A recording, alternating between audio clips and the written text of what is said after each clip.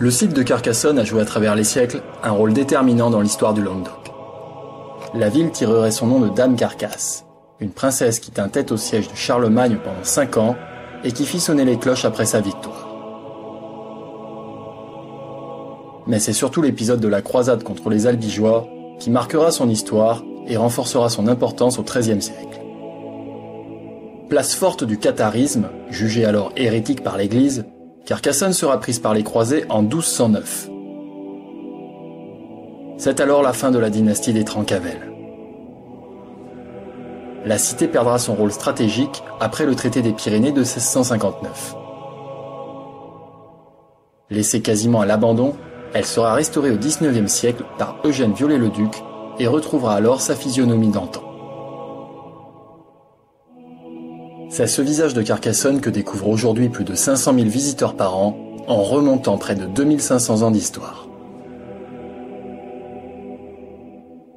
Cette histoire, j'ai eu la chance de pouvoir la découvrir d'un peu plus près grâce à une randonnée organisée par l'association Les Amis de Saint-Jacques en Terre d'Aude et le service patrimoine de la mairie de Carcassonne, représenté par son élu, Monique Artozoul-Joseph. Ce fut l'occasion de marcher sur le GR78, chemin de Saint-Jacques du Piémont pyrénéen, et de découvrir l'histoire d'un ancien aqueduc. Mais qu'en est-il des autres possibilités de randonnée autour de Carcassonne? Alors, euh, il y a beaucoup de choses à voir. Euh, on a eu un petit aperçu ce matin hein, ensemble. Euh, vous vous êtes rendu compte que la ville de Carcassonne s'est fait d'une cité que tout le monde connaît, mais aussi d'une bastide moyenâgeuse. Qu'entre les deux, c'est l'Aude qui coule. Et l'Aude a deux bras et vous avez une belle île. Voilà. Et autour de, de cet environnement, vous avez beaucoup de randonnées. La première que j'ai réalisée est une balade permettant la découverte de la cité et de ses abords immédiats. Après avoir visité l'intérieur des remparts, direction l'extérieur de la forteresse pour une vue plus globale du site. L'endroit propice pour cela, c'est le Pont Vieux, un ouvrage daté du début du XIVe siècle.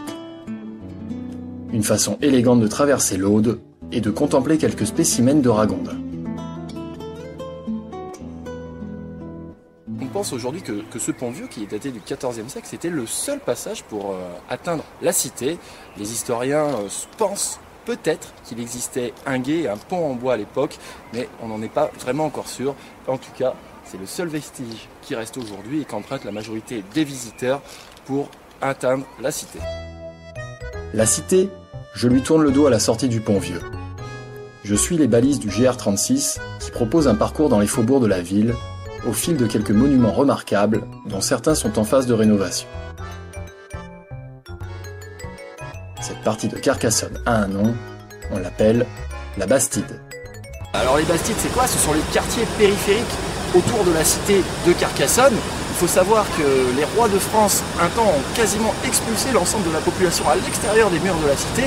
Renforcé les fortifications à cette époque et tout le monde, la population d'une manière générale, s'est retrouvé de l'autre côté des rives de l'eau.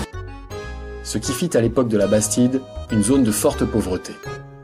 C'est entre autres la création du canal du Midi qui va relancer l'activité économique de la Bastide. Tandis que le pouvoir des rois décline, le commerce prend son essor grâce à la navigation.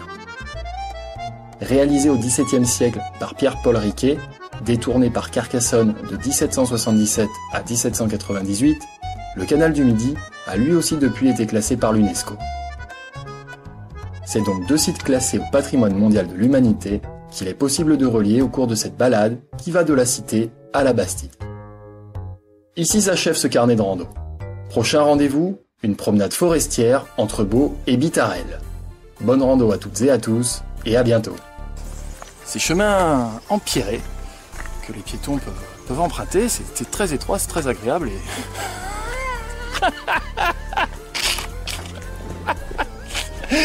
Pas de mauvaise pensée, s'il vous plaît. Alors si j'ai choisi cette région pour vous présenter cette nouvelle émission, ce n'est pas sans raison, c'est grâce à la... Alors si j'ai choisi cette euh, saison... Alors si j'ai choisi cette région... ok. Alors si j'ai choisi cette région, alors si...